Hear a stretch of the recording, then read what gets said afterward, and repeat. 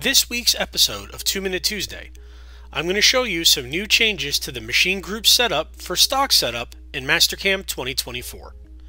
First, let's take a look at machine group setup in 2023. Our options are bounding box, open from file, or select a solid.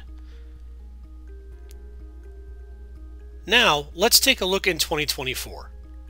Under our stock setup options, we're going to see a return of some classic styles of selection. From here, we have the choice of adding from two corners, create a simple rectangle or cylinder, as well as bounding box from a file or from selected geometry.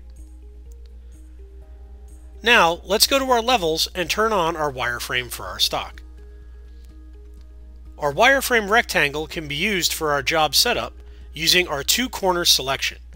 With our 2D 3D switch set to 3D, we can pick the upper left corner and the bottom right, and it will automatically populate the dimensions for our block.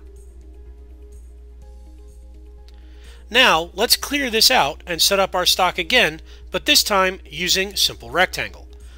We can window select all of our geometry on the screen and actually bring up our dimensions, and our stock will be set.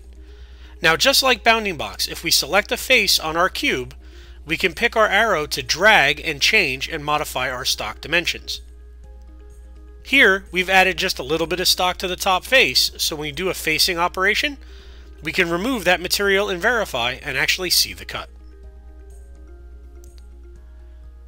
Well, that's it for this episode of 2 Minute Tuesday. We hope you enjoyed it, and we'll see you next time.